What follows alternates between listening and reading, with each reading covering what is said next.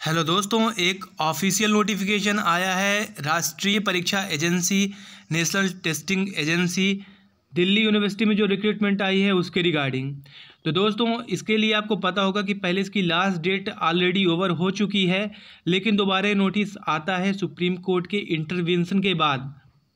तो दोस्तों, इस वीडियो में हम जानेंगे कि क्या कहा सुप्रीम कोर्ट ने और कैसे आप भर सकते हैं फॉर्म।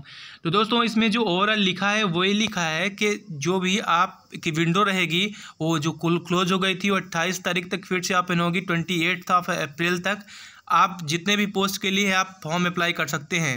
लेकिन जो लास्ट में यहाँ पे गाइडलाइंस हैं, यहाँ पे जो है तो जो जूनियर क्लर्क के लिए जूनियर असिस्टेंट के लिए जो अप्लाई कर रहे हैं ऑलरेडी जो एम्प्लॉयज़ वहाँ हैं, उनको वे विडेज मिलेगा, उनको बेनिफिट मिलेगा, लेकिन जो बकाया पोस्ट है उसमें कोई भी बेनिफिट नहीं मिलने वाला है। तो अगर आप जूनियर असिस्टेंट के लिए अप्लाई कर रहे हैं तो आप अगर वहाँ के दिल्ली यूनिवर्सिटी के एम्प्लॉय हैं तो आपको बेनिफिट मिलेगा एज पर मैंशनड हेयर तो दोस्तों, आप हमारे साथ बने रहिएगा। अब बस याद रखिएगा कि जो डेट है, ये ऑलरेडी बढ़ चुकी है और ये लास्ट डेट अब अट्ठाईस तारीख हो गई है।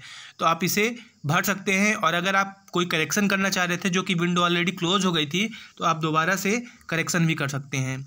तो आप हमारे साथ बने रहिएगा थैंक्स लॉट गाइज़